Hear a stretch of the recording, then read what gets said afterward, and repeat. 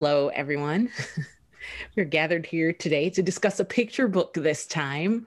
Um, I'm super excited about this on one hand, and on the other hand, I'm like, how do you how do you even talk about a p- picture book within the context of thinking about um, thinking about the idea of like where Black Americans fit into our national landscape, right? Um, so the book that we're here to discuss today is The Other Side by Jacqueline Woodson. Uh, it's a super, you know, as picture books tend to be, super quick read. Um, but one thing that I found myself thinking about was like, I wonder when this was written, right? Like you look at this book and it's it's not, you could tell that it's not super old, um, but you're also like, oh wow, we're reading a book about segregation. When was this written? And I um, I just looked it up because I was like, what are you going to talk about when you start talking about this picture book? and it looks like this book was um, was released in 2000 right so like as as we think about this book what does it mean to read a book about uh, a book for children that talks about um, a cross racial um, friendship within the context of segregation in 2020 what does it mean to read this book right now? Any thoughts? Oh yeah I, I have some thoughts for sure. I'm i've got to confess the reason i am here today is because i too am really curious to see where this discussion goes. I mean we've talked about um, 500 plus page books. We've talked about 200 plus page books but not a 20 page if, if that book. Um, so uh, so yeah, um, I don't know. Also, Sherlania, if you want to do names and stuff, but I'm Lauren. Well, um, and you and you called my name, so we know that I'm Sherlania now. So we might. I'm Lucy. I'm Elizabeth. Hi. Um, and I, I just wanted to say, like, I um, I read there is an author's note in the version of the book that I uh, read, and um, you know, in she she takes the time. Uh, Jacqueline Woodson takes the time to say in it, like, "Wow, I just like I needed to write this story. I needed to like focus on these characters um, and tell it kind of a tale of hope." Um, and uh, you know, she she gives like one paragraph break to just that line. I needed that hope. Um, and she wonders at the end of this author's note what it will mean, like this story will mean to people 20 years from now. So here we are, 20 years from now. Um, and so I guess that hit me just like I read that and I was like, okay, yeah, uh, this is this is really interesting uh, that she's talking to us so pointedly and like here we are at the 20 year mark. Um, what else did I want to say off the bat? Does that, I, I want to pause and let other people react first too. Yeah, I uh, I have the 10th anniversary edition here as well, which I think probably is the same one, Lauren, with the author's note. Um, and this is something I thought about as I was reading too, but I think it is um, so first of all, this book is fictional. Um, not that this scenario could not have happened, but at least it's it's a fictional um, you know, picture book, and I think it's really rare um, that um, we have a fictional portrayal of the very young kids that can express um, as much as this book does and have something that um, you know, uh, what am I trying to say? You know, it's a simple book, like we said, about two young girls, you know, children. Um, and it doesn't, it never really come, it's just a story basically. And it's just kind of interesting to um, read a fictional account that's very simple of the two young kids, but Realize what that means in the broader context is I guess what I'm trying to say. And I think that that's where um, it allows us to, to have a conversation about it or have um, other folks have a conversation about it because um, it doesn't come out and tell you exactly what it's saying, but it's, you know, it's, it's, it's, it, it offers opportunities for conversation without, um, coming right out and saying this is what you're going to talk about right now i guess is what i'm trying to say which i said a little bit poorly but just kind of no but i totally I, I, agree with what you're saying. And i think the thing is um, when you have a, a book from the point of view of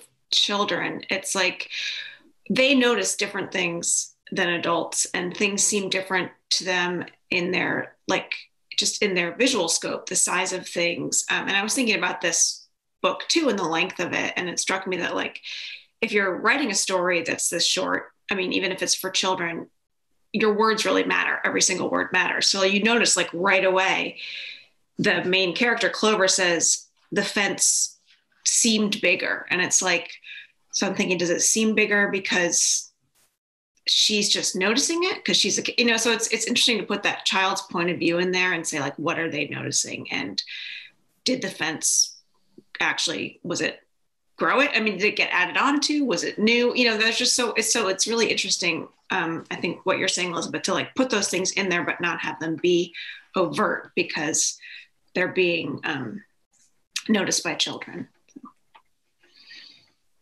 Yeah, I, you mentioned the fence, Lucy, and I just think like, uh, I mean, I'm not sure if such fences ever existed, or it's interesting to think about the child's point of view and whether this fence is like appears more massive to the child's frame than an adult's. But I mean, if you look at these pictures and they're just super beautiful, but like that fence is massive. It's a huge fence, and I, I guess like, I mean, it just made me feel like wow like these this this is a real barrier it's it's a per it's a porous barrier but it's it is it's a big deal like this is a big visual event in the book as this like place of things happening. Um and and and i guess like i wanted to say that like this book has a lot of like silences in it not a lot of words you know and uh, so every word matters like you say lucy but like the silences really matter like the just like the lack of words and like the invitation to just look and inside the images and just be in this world i think is uh is one of the reasons why i really liked this book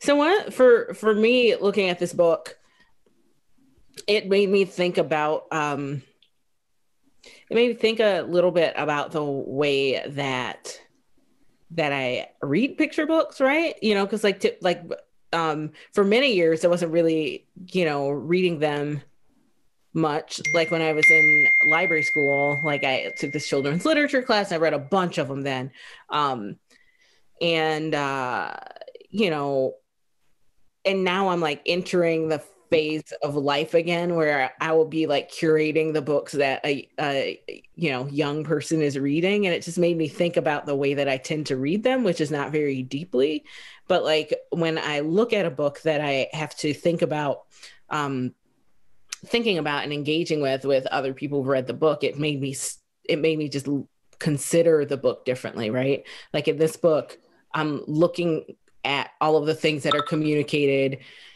through the photos, you know, not photos, through the illustrations um, and all the things that are communicated by the silences, which then made me think about like, wait a minute, as you're curate, as you are the curator in the beginning for your kids' um, books, like what are all those silences and what are all those images communicating, right? Because we saw this fully, we like I felt like this book really put us very um evocatively in this world what are the other worlds that we invite our children into right and then like when we're trying to and, and it made me think about like um helping people find books for their kids at the library right? When people are like hey i'm looking for a book that like reflects my family. And often that's difficult depending on what their family looks like right? And so like what does it mean then to like paint these vivid worlds full of hundreds and hundreds and hundreds of books where um where you know you just get a smattering of representation of different types of things you know or like when i was looking at this book and reading it like i liked the book um but like i felt like would i would i like own this book right because it's like and I don't know, like maybe later when when we're when we're past the eating of book age, um, I might look at it differently. But like, uh, you know, like how many books am I going to be able to bring into my house that have like a mixed race family like my kid has? And like, is this the book that I want to bring in, and then make him feel like, wait a minute, it was a big deal for these people to like cross this line, but like, l- what's happening in my house, right?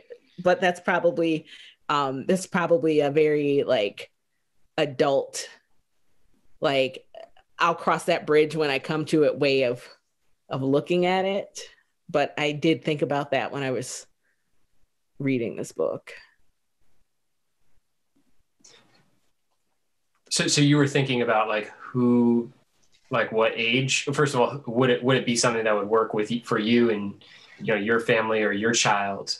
And you were also were you were you also kind of thinking about like what what age is this really who's this for? Because there's like some complexity here.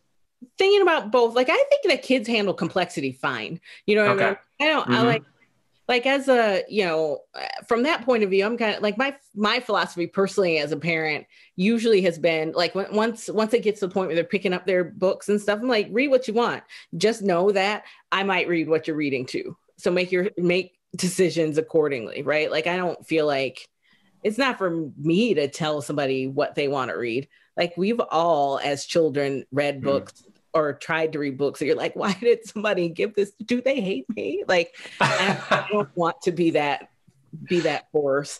But you know, I, I probably wouldn't I, I probably wouldn't select this book right but i think this book is super i think it's a good book but like i also like I don't know, like and maybe it's just like I don't want to have like early conversations about segregation in my mixed race family, right? Mm-hmm. Like because I feel like young kids I also have been like a parent who's like, you know what? The crappy stuff is going to come. Like you're like the, like there's gonna especially if your kid's like a kid of color like somebody's gonna say something to the kid and then they're gonna bring bring the corresponding um t- telling of the story or questions home. And i kind of feel like you know what i want you to have as long of a life as you can without even having to think about that. And then like when it comes to your doorstep we'll deal with it then. And maybe that's really what i'm thinking in now now that you poked me lauren i understand what that response what my response to that book is right? Because it's like well you know like a uh, like your kid only has like a very small envelope of like innocence when it comes to the way that race is going to function on their life um, and I'm like, take the whole envelope, take every corner, take the adhesive, explore the whole innocent envelope before it's ripped away from you, I guess, is what I was trying to say. mm-hmm. Yeah. Well, I mean, I wonder, like, as far I'm not very well versed, I haven't read a lot of picture books that explore the topic of a cross uh, cross racial friendship or really segregation. Like uh, maybe others have more opinions there. But I mean, this is the first one that I've ever read. And as far as it went, I thought um, there's, I love the way the story was told. I just, uh, I think like the way of the friendship unfolds between this white girl and this black girl feels real, really true to life to me, feels authentic. Um, I love the illustrations. I love the silences, like I said before. And I think also what I meant also there is I love the body language. There's a lot of like moments in this book that you get to see and it invites you to sort of feel like a kid again if you're somebody as old as I am and maybe for to a kid it just like makes sense like I see you know I see the mom's like legs and I'm at the child's uh, head view of um, people walking past each other on the street. And so I can imagine myself as a kid being like, yep, that's what it's like, you know? and, um, and I can also imagine the kind of dialogue that, um, it, it, it, comes into play in this story as being pretty authentic too, to the ears of the kid, you know, the, the kind of like, you know, the, the mom, um, Clover's mom telling her, "Nope, you can't go outside and play in the rain. I have I bought you these toys so you could just stay inside and keep dry." Like or the don't don't stare. That's not polite. You know, these sort of like. But then crucially, there's like, um, you get to feel a little bit of like Clover's mom's watching, clearly observing this friendship unfold and she's not going to yank her kid away from it which is interesting to me. Like this the, the her mom allows this uh what do you want to call it like liminal zone to exist for these two girls of different races and i think she kind of allows maybe like speaking to what you were just saying Sherlanya, perhaps clover's mom doing that is allowing her child to hold onto that envelope and explore that little envelope just a little bit more before you know um, innocence is lost or more complexity is introduced into her life. It's just my thought. I, I think that the mom like very well knew um, I, I for to me when I saw that I was like okay you know like there yeah there you know there's like um a gray area I think right? Like when you look at I, I, feel like in segregated communities there's always a gray area right? Like it's not true often that like there's no contact across groups right? Like who is doing certain types of work you know um, and things like that. So i think that um, but uh, with that in mind i think that the mom is very aware of where the like crisp border is. And i think that the mom was also making sure that there was not a situation created where that where the real border is breached right because um, I definitely think it would have been a real problem if if it had the potential to be a real problem if Clover was the one, you know, sitting on the fence, making the overtures across the fence. Like I, there's a definitely a difference, I think there, and I think that when we see mom, we see that mom is like, oh, I'm going to have my eyes on every single thing, right? Or like parents do this all the time, right? Like where your your kid makes a friend with somebody that you're like, I don't know if I like that kid. I don't know if I like that kid's family. I don't know if I like anything about that kid. That kid's coming over here to play because I will watch every single thing and then you're just lingering in the doorway the whole whole time like listening to every single thing to like let your kid you know, have an experience, but also you're watching it. Like mom listened to every single word that transpired between those girls, and mom watched every single thing. Mom wasn't hanging laundry that whole time. Mom was listening, I think, um, in in some of that. Uh, that's what I saw anyway, um, or that's what feelings came up for me when I saw mom watching, right? And then I think the um, you know, you bring up the scene where mom is like, um, excuse me about like playing outside like that. Like the first thing I thought was like, well, of course she can't, she's not, she's not gonna be able to go out there and get her hair wet because like that's a whole different situation for black hair than it is for other hair. So it's like, mm. but like moms might might not tell her like, I just combed your hair and we are not right? But the other thing that I saw in that scene was like, mom, we see that mom has provided very well for Clover, right? Like we see that she's like, I have provided things for you to do. You are not in need of things to do. And then we see all this stuff that she's got. And then it made me wonder about like the socioeconomic realities of the situation, right? Because like if you ha- if you're living on two sides of a um, segregation situation, like what what was the status socio like what you know what what were the relative statuses of the families inside of their own racial communities right? Um because like i don't think that the house next to the black neighborhood is the choice house for the mm-hmm. segregated um, white people. And i don't i don't know what it means in in this con in this context. Like is that the house you want? Or you're like oh man like too bad I gotta like have this house where I'm watching all the time, right?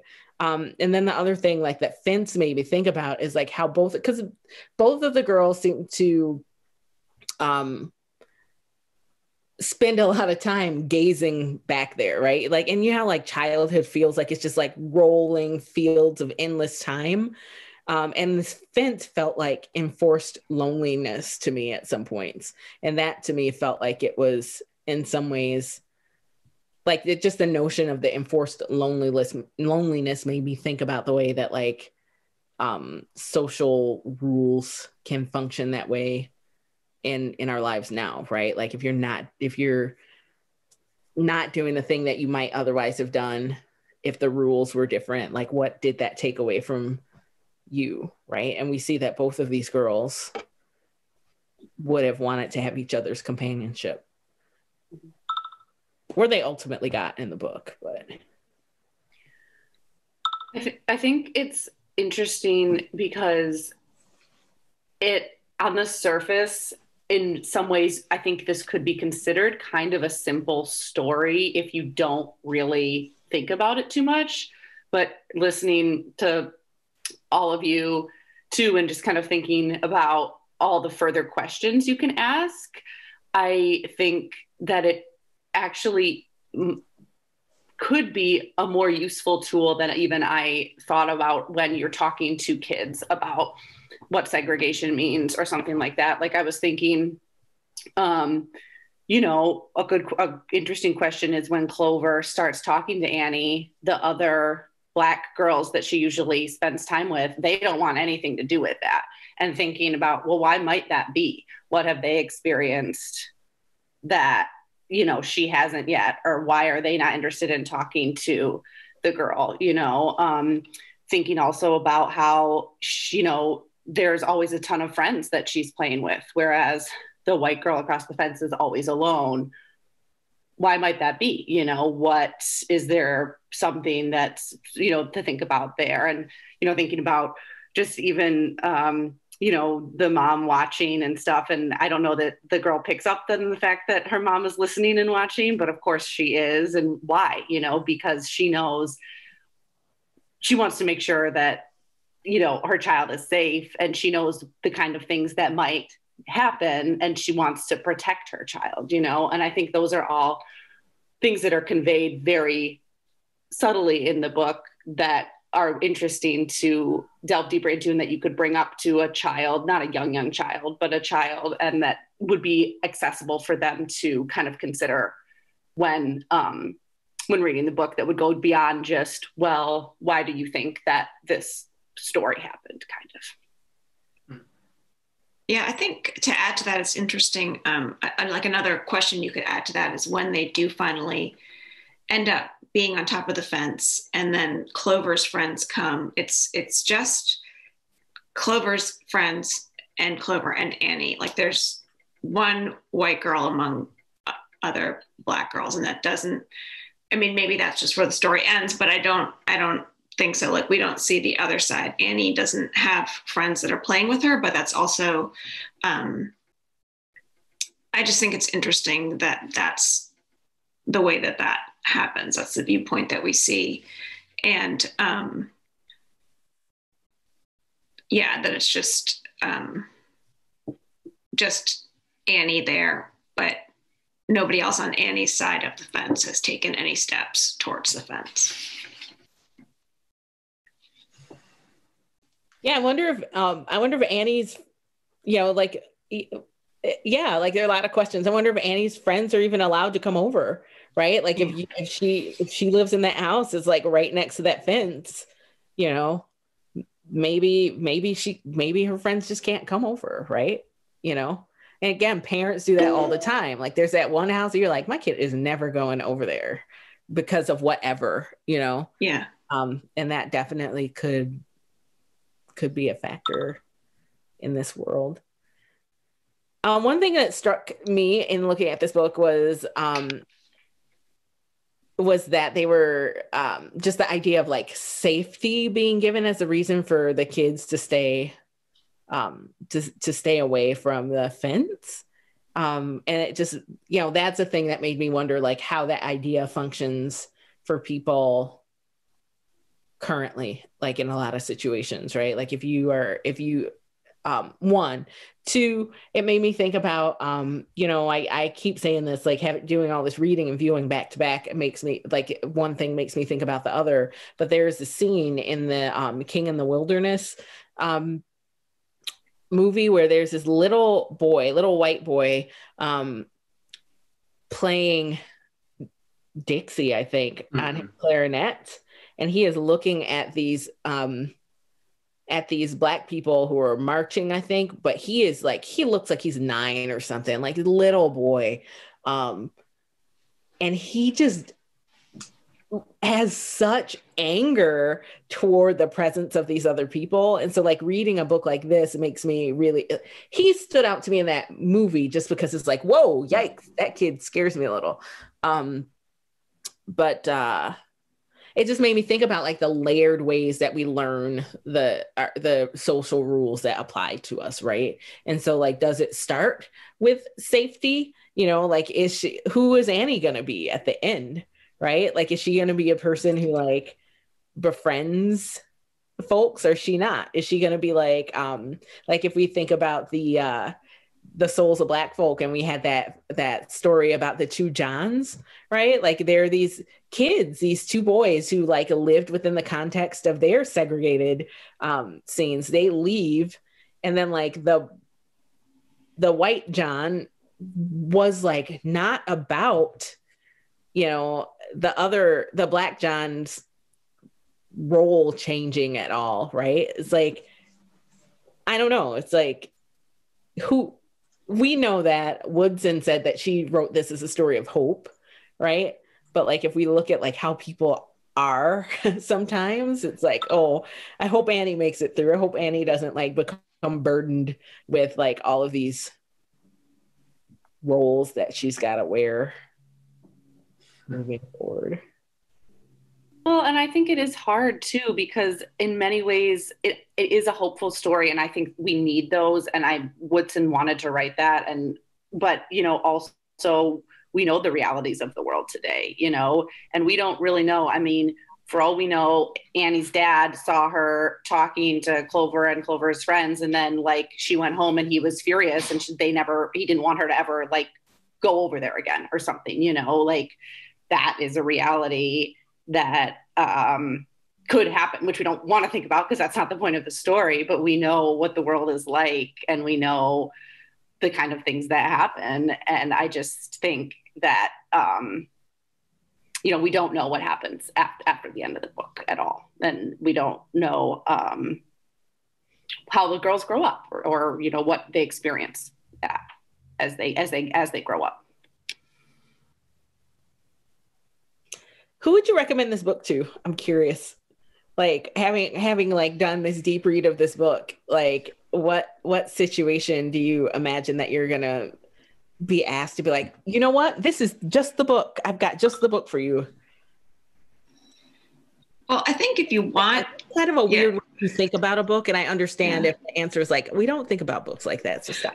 Well, no, but I think I was thinking about when you were talking about the type of books you're thinking about bringing into your house now, and um, like I think that this would be a good book to tell an adult to read with a child uh, if they wanted to like ask and try to answer some of those bigger questions. Or even if like if you're reading it to a group of kids probably an older group of kids than i think you know it might seem like based on the number of words in the pictures. I just think if it's little kids they're gonna the illustrations are really beautiful but honestly like story wise for little kids they might just be like oh, okay you know they I, I don't know. So um I think that I would probably give it to older kids or say to tell adults that this is a good book for trying to ask and maybe answer some questions about why groups of people are divided. I think that's well put. I would agree with that, um, Lucy. And yeah, I, I think that um, I don't see this kind of book as like a book to introduce as like the first thing to broach the subject because I, I, I too would I don't know I, I think that there is something to this idea of like let's um, allow kids to come to adults with that question with with questions about like, well, what is I heard this word like what somebody said this was racist. What's racism mean? Like what's racist? And I think that there I have encountered other books that are for older kids that are kind of explicitly about what is this here's the concept and let's put other words to this and put provisional definitions to this. Um, one that I'm thinking of is called Not My Idea by Anastasia Higginbotham. It's a, it's a book for older kids about whiteness specifically. It's like a white kid asking the question, like, what's racism? Um, and uh, I felt like that book really puts a whole lot more words than this picture book does, you know, to around the concept. And I think that a book, the advantage of a book like this one, uh, the other side, is that it very much feels like okay, let, let's like let's look back in time to a specific time in American history. This is emblematic of a particular period in, you know, the Jim Crow South, probably, like um, that we can really physically feel like this, or we can ask all those other questions. Because I think this book raises more questions and kind of, yes, thankfully, like delivers they like, you know, a, a, a fulfilling enough ending that like you can just you read it and then it asks it, it raises some questions though that you could then explore. Um, and some of which we've already begun talking about. Like, would this have worked if there was a black girl on the fence at first? Probably not. No, this would not be told like that. There's a reason why there's this the a certain number of black girls and a certain number of just one white girl. You know.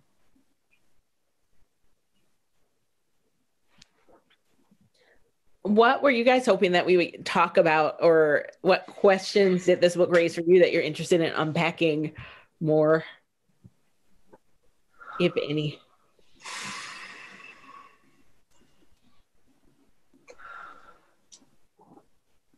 Well, I'm kind of like you. Oh, sorry. Go, go ahead. ahead. No, go ahead. No, go ahead. Okay. Right. I mean, I would just say that like I'm kind of like you, Sherlone. You know, I've been I've been reading a little bit of this. I've been reading this history. I've been reading this uh, book uh, on the Black Lives Matter discussion list, and I don't know. I just like I I feel like there's a lot of ideas in here that resonate with all those other books, and it's one other way to um, look at this wide-ranging reality in America. And uh, I guess what I wanted to talk about or wanted to see where this was, I'm, i was curious. I had no, I, I didn't have an agenda coming into this meeting.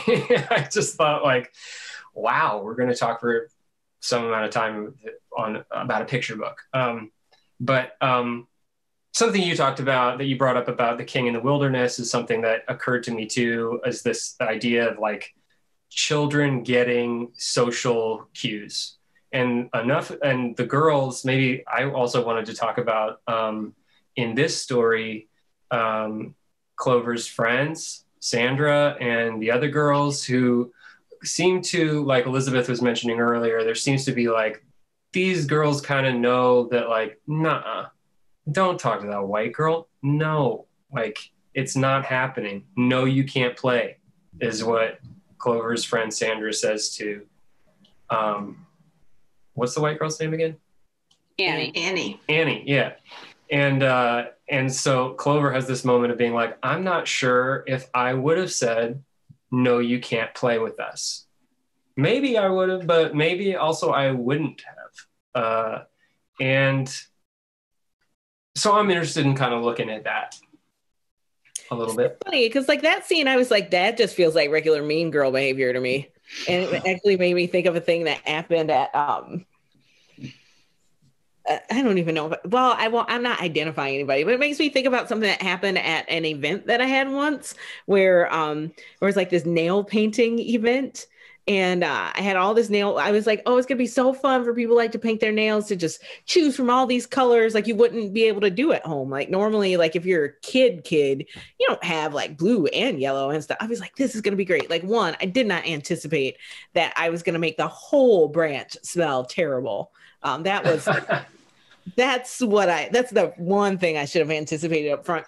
But like there was there I will never forget this. There was this light blue nail polish that somebody was using and then some girl wanted to use it And she's like, oh, she asked, you know, she asked a girl, and they're probably same age as these girls, which is I think what what made me think about it. But she asked the other girl, oh, can I use it? She's like, well, I'm using it now. And after I get done using it, she's going to use it. And then when she's done, she's going to use it. And when she's done, she's going to use it. And I was just like, what is happening here? One. And two, I will never repeat this event because I don't want to participate in this kind of behavior. But this, you know, I think that you guys' readings is probably, um, probably like more fitting with the book but like when i read that i was like yep this is this is one of those things that girls do glad i'm not this age anymore so i'm wondering like now that lauren asked the question i'm wondering what you guys thought about that scene that was the one scene in the book for me that i honestly wasn't sure or not the scene but that like thought process, I I didn't quite know how to interpret it. I didn't know if it was just like 10 year old girls, like you said, Sherlanya, just kind of being like, well, no, like we don't know you, maybe, I don't know. Or if it was um, Clover kind of not really being sure genuinely because of the racial divide or I, I didn't I didn't really know what to make of it. That was something that I, I kind of thought about and didn't come to a conclusion. Yeah, I think I, I when I was first reading it was thinking more in light of like what you were saying, Lauren, that the girls were just like, no, we know better than that. But now hearing Sherlanya and Elizabeth, what you're saying, I can see that it could be both. I mean, even when they finally ask it, if when they're allowed to play, Sandra's response is, I don't care. You know, it's like, which could be a total mean girl response, or it could be like, I'm not I'm not going to in I'm not to pretend this was my idea or invest more in this than I need to. Um, so it's kind of interesting that even that, like, I think we can see two different um, storylines or levels of complexity. And that's one thing, like, I, I would say about um, the choice of this book on this as part of this discussion series. I really appreciate that you picked it because I feel like I don't read a lot of picture books where I'm actually looking at each word, like why is that word there? Um, and so I really appreciated the opportunity to read something like thinking about word choice and going back and um, and so it's kind of telling that I think that we can look at it and get all these different stories out of it.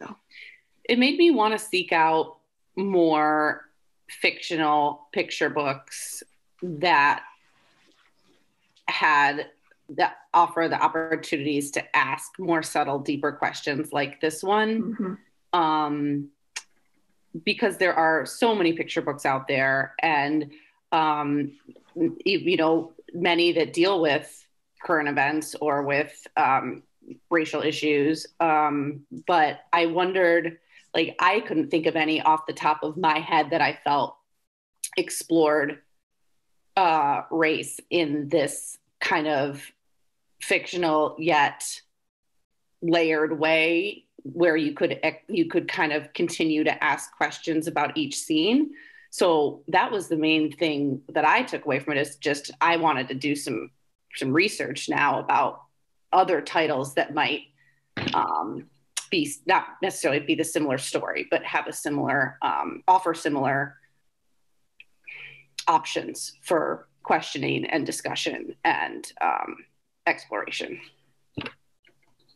One thing that I liked about this book within that context, right, like with you know uh, providing this opportunity to ask a lot of questions, is that um, the author made it clear that this issue had to do with this dividing fence, right? Like at the beginning, it's like you know there it that was the white side of the fence, and I think that the um one thing that this book does that not necessarily that doesn't always happen is it you if you want to let yourself off the hook from thinking about it you're going to have to work hard to like create that opportunity to let yourself off the hook and i thought i appreciated that about the book right um i was unable to get a copy of a physical copy of um this book the way I thought I was going to. And I was like, let me just see, you know, like I like frankly, I was like, librarians put books up on the internet all the time. Let me see if I can find this somewhere, right?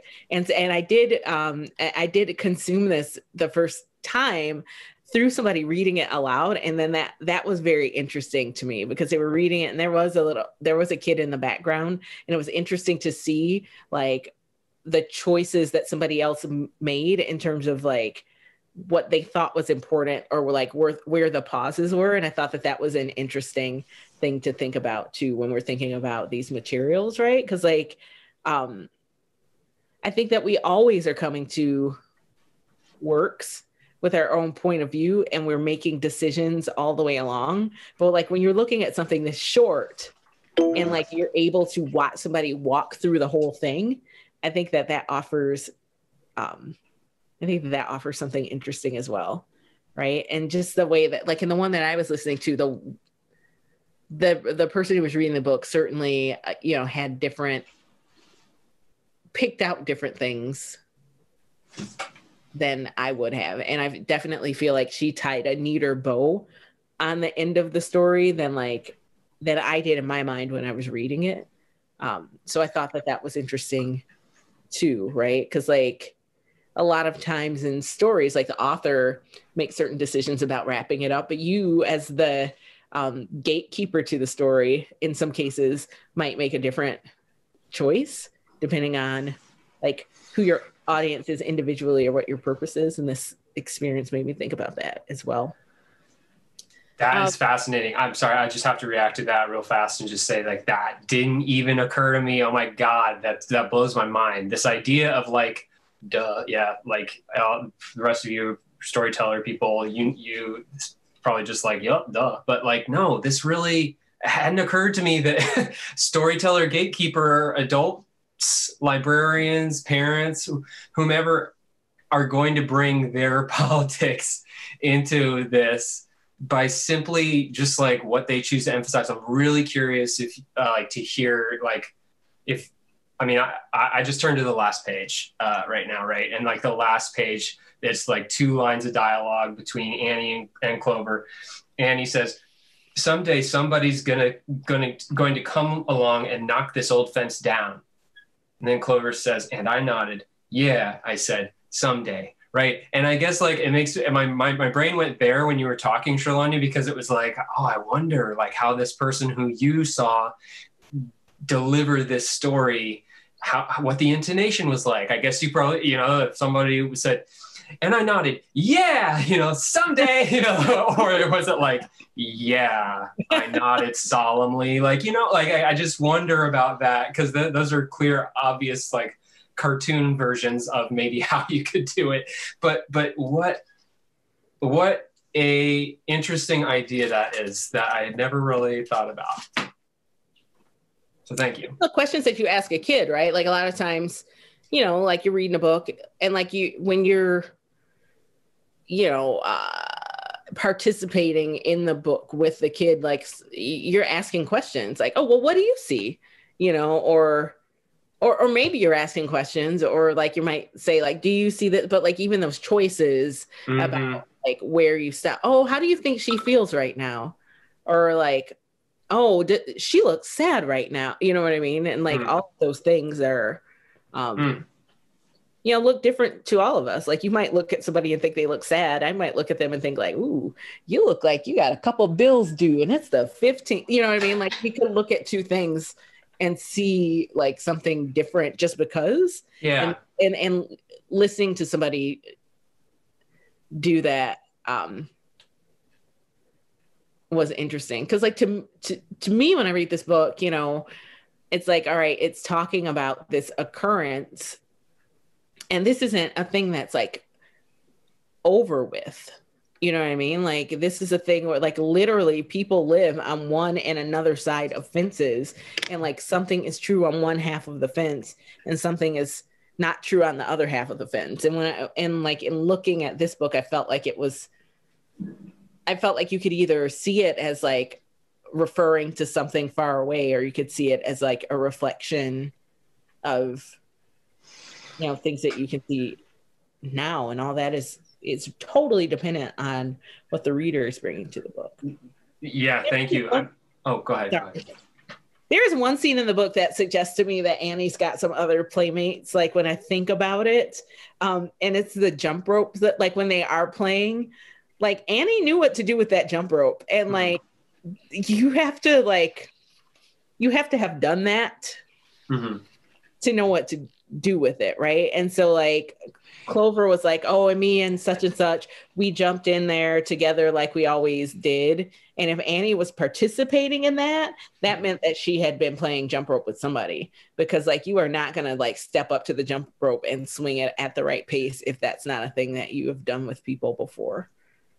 For sure. She doesn't seem like she comes across as like this weird shut in type kid. I agree. And that's a concrete example of that, that she's got some other friend somewhere, maybe white friends somewhere. Yeah.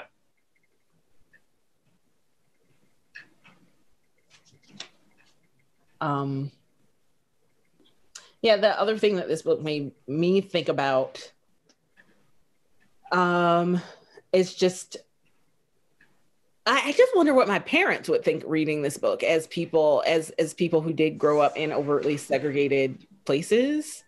Um, because like I remember like what in like at a certain point in school learning formally about like the idea of segregation and asking my parents questions about that. Um and them just being like that's like basically being like what a weird question. That's just how it was like we were not thinking about it like that. Like you are thinking about this in a way that we just simply were not thinking about it. Like you you knew you went you knew you did not go in the front door. You knew you went to the side door. That is the way that it was. And and so i just i wonder how you know what this book looks like to somebody who um somebody who experienced like the um jim crow type segregation that we think about when we think about that word right because like again people are experiencing segregation now and never think twice about it too right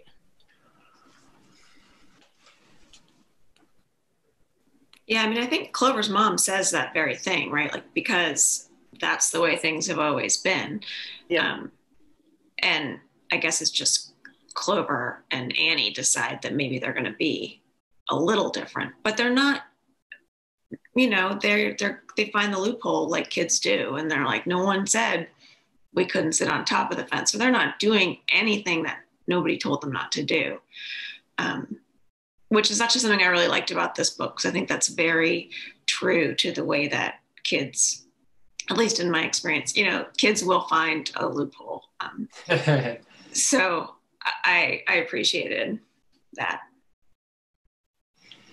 Yeah, I guess to me, like, I, I'm, I'm just like going to shelve that question of like, what do people who actually experience this life like feel about this book? I don't have a real, I don't, I just don't know how, I don't know what that would feel like. I, I, I, I, I can hazard some, yeah, like what you said was really interesting, Shalanya, about that. Um, that like, it's just how it was. Um, but but you know what you just said, Lucy, kind of speaks to like the hope that I guess human humankind always seems to muster, right, for like the next generation. Like, oh, it, it's really awful right now, but hopefully things will get better. You know, like I I like I pray, I have to I have to believe that this will get better, and um, it's not.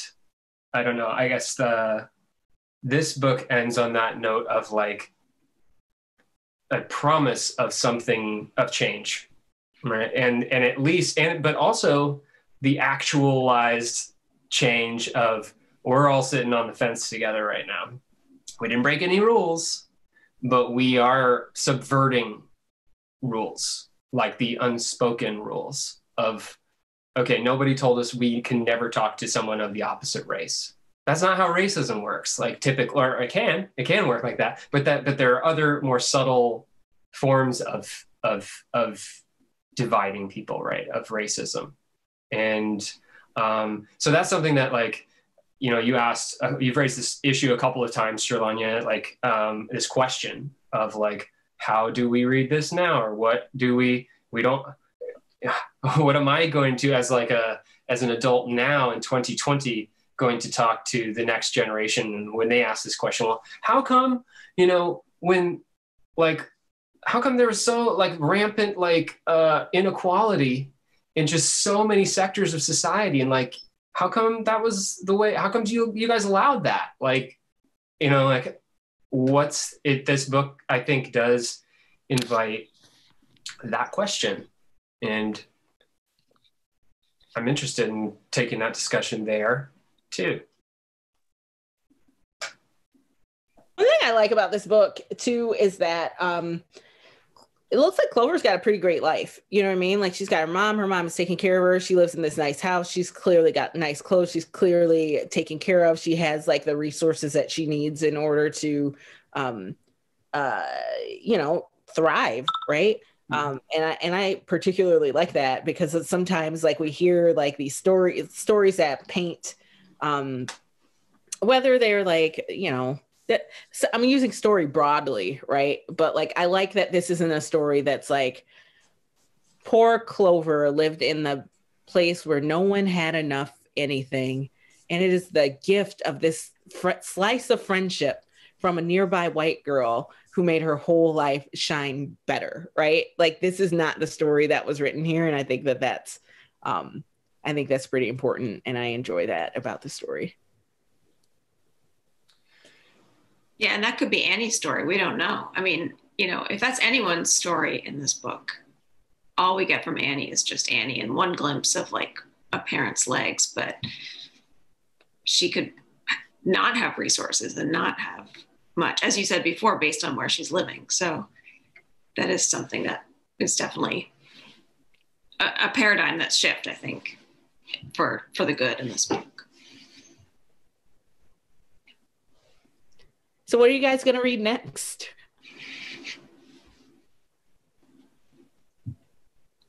Like children's book wise, or just whatever. yeah.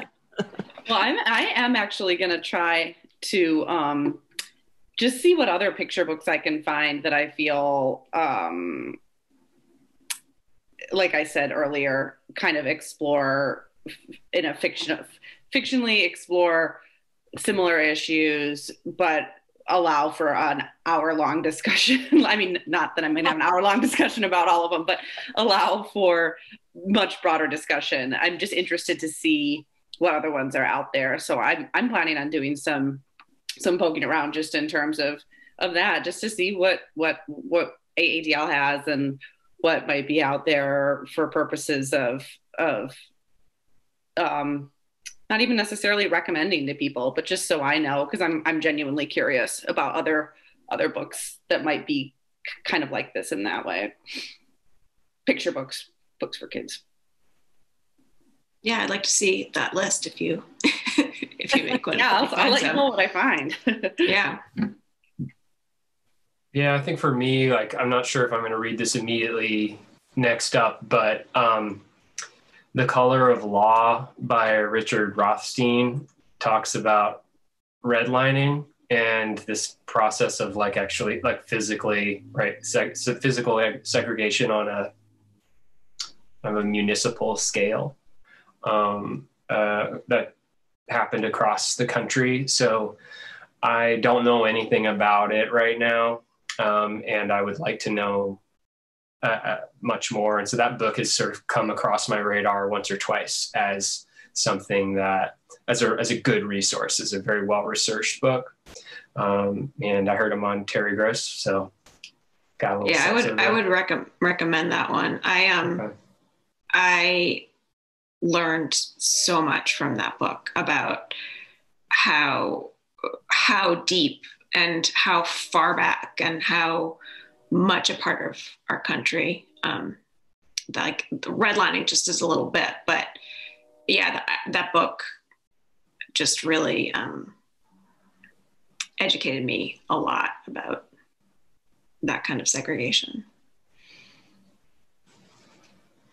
I'm interested in reading some more of her work. Um, she just, I, sh- I should have looked this up before, um, before coming here, but she just won another award of some kind. She and two other people together did. And I was like, and I remember seeing it because I was like, oh, she wrote that book that's on this list.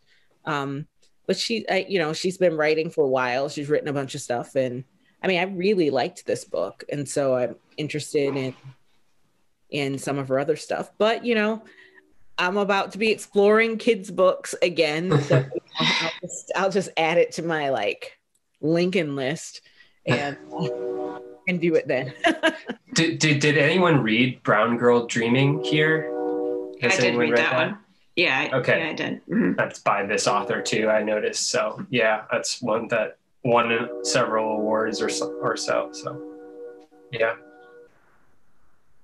Cool. Well, thank you guys all for.